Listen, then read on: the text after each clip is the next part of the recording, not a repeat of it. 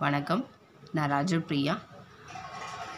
Chemistry ப்ராக்டிக்கலில் volumetric analysis பார்க்க போகிறோம் அதில் estimation of sodium hydroxide titration one எப்படி டைட்டேஷன் டூ அந்த ப்ரொசீஜரை கால்குலேஷன் பாட்டும். டேப்லெட் காலமும் எப்படி ஈஸியாக போகிறதுன்னு சொல்லித்தர போகிறேன் டைட்டேஷன் ஒன்னில் standard sodium carbonate vessel hydrochloric acid indicator methyl orange end point golden yellow to pink இந்த மாதிரி ஒரு டேப்லெட் காலம் போட்டுக்கோங்க. Volume of sodium carbonate in ml burette reading in ml initial final volume of hydrochloric acid ml concordant values எப்பயுமே pipette solution sodium carbonate pipette சொல்யூஷன்னாலே twenty ML தான் இருக்கும். ஆனால் twenty டுவெண்ட்டின்னு இருக்கும். பியூரிட் reading reaction ஆரம்பிக்கிறதுக்கு முன்னாடி ஜீரோவில் தான் இனிஷியல் ஸ்டேஜ் இருக்கும் அது. உதாரணத்துக்கு இப்போ நான் ஒரு டைட்டேஷன் செஞ்சு முடிச்சதுக்கு அப்புறமேட்டா எனக்கு ஒரு வேல்யூஸ் வருதுன்னு வச்சுக்கோங்க. நைன்டீன் பாயிண்ட் ஃபைவ் எனக்கு கிடைக்கிது. ஸோ செகண்ட் டைட்டேஷனும் எனக்கு சிம்லராக நைன்டீன் பாயிண்ட் ஃபைவ் கிடைக்கிது. பியூரேட் ரீடிங்னாலும் வால்யூம் ஆஃப் ஹைட்ரோக்ளோரிக் ஆசிட்னாலும் ஒன்று ஏன்னா இது லிங்க் சொல்யூஷன் இல்லையா இப்போதைக்கு? அப்போ நைன்டீன் பாயிண்ட் ஃபைவ்னு அகெயின் எழுதுகிறோம் அடுத்தது நைன்டீன் பாயிண்ட் ஃபைவ் எழுதுகிறோம் கண்கார்டன் வேலைனா சிம்லர் வேல்யூஸ் ஏதாவது ஒரு டைம் எழுதுனா போதுமானது நைன்டீன் பாயிண்ட் ஃபைவ் இப்போது இதில் இது வந்து பிப்பட் சொல்யூஷன் இது வந்து பியூரட் சொல்யூஷன் இல்லையா? பிப்பட் சொல்யூஷனில் வி ஒன் டைட்டேஷன் ஒன்னை பொறுத்த வரைக்கும் வி ஒன் என் ஒன் அப்படின்ற கான்செப்டில் சோடியம் கார்பனேட்டை யூஸ் பண்ணி நம்ம போட போகிறோம் அடுத்தது ஹைட்ரோக்ளோரிக் ஆசிடை வச்சு நம்ம வி டூ என் டூன்னு போட போகிறோம் இது டைட்டேஷன் ஒன்றுக்கு இந்த ப்ராசஸ் யூஸ் ஆகும். வீணா வால்யூம் என்னா நார்மாலிட்டிஸ் ஓகேவா இப்போ வந்து வி ஒனில் இது இது என்ன யூஸ் பண்ண போகிறோன்னா volume of sodium carbonate solution இங்கே சோடியம் கார்பனேட்டை யூஸ் பண்ணி தான் நான் சொன்னோம். இப்போ volume of sodium carbonate solution V one normality of sodium carbonate in N one அப்படின்னு போட போகிறோம் அப்போது volume of sodium carbonate solution எவ்வளோ வந்திருக்கு? இங்கே twenty ml normality of sodium carbonate N one எப்பயுமே உங்களுக்கு ஜீரோ பாயிண்ட் ஒன் நார்மாலிட்டிஸில் கொடுப்பாங்க. ஸோ நெக்ஸ்ட்டு இங்கே பியூரட் சொல்யூஷனில் ஹெச்சிசியில் வச்சு போடுறோமா? இப்போ volume of hydrochloric acid V two எவ்வளோ வந்திருக்கு உங்களுக்கு ரீடிங் கண்டுபிடிச்சது? நைன்டீன் பாயிண்ட் ஃபைவ் இப்போ நம்ம என்ன கண்டுபிடிக்க போகிறோம் normality of hydrochloric acid N two கண்டுபிடிக்க போகிறோம் இப்போது ஃபார்முலாவில் V one N one is equal to V two N two N two is equal to V one N one divide by V two அப்படின்னு போடுறோம். இருக்கிற வேல்யூஸை சப்ஸ்டியூட் பண்ணிக்கோங்க. Twenty into zero point ஒன்று நைன்டீன் பாயிண்ட் ஃபைவ்னு போடுங்க. இது ரெண்டுத்தையும் மல்டிப்ளை பண்ணால் டிவைட் பண்ணால் வர ஆன்சர் வந்து தோராயமாக zero point one zero two five கிடைக்கும். அப்போ normality of hydrochloric acid N two is equal to zero point one zero two five normalities கிடைக்கும். இப்போ டைட்டேஷன் டூ பார்ப்போம்.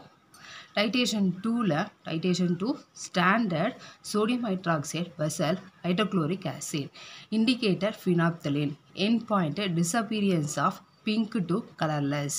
இது மாதிரி ஒரு டேப்லெட் காலம் போட்டுக்கோங்க.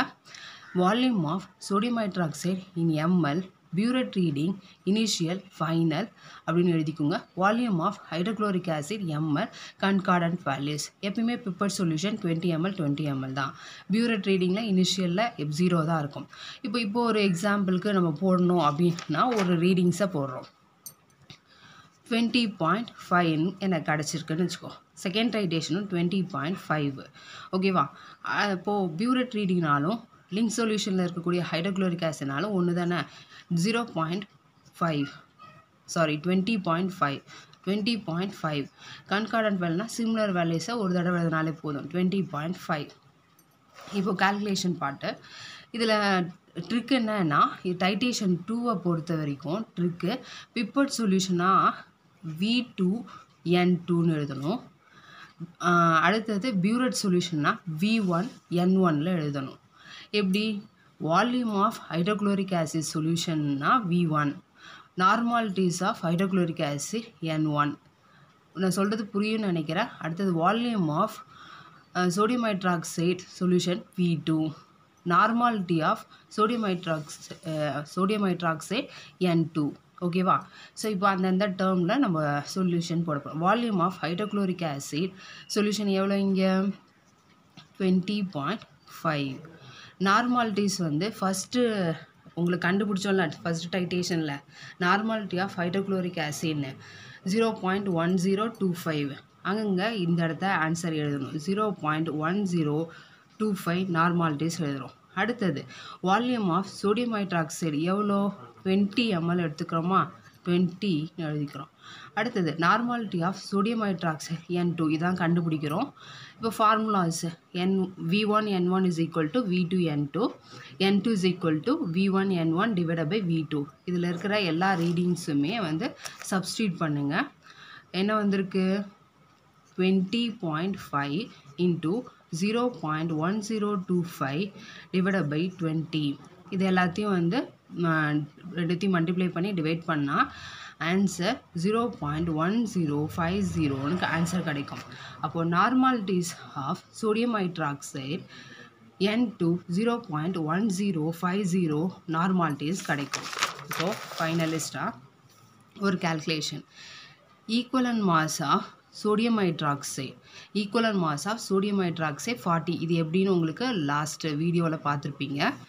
Amount of sodium hydroxide present in a whole of given solution அதுக்கு formulas N two into equivalent mass divided by ten N two வந்து உங்களுக்கு என்ன வேல்யூஸ் டைட்டேஷன் டூவில் கிடச்சிது.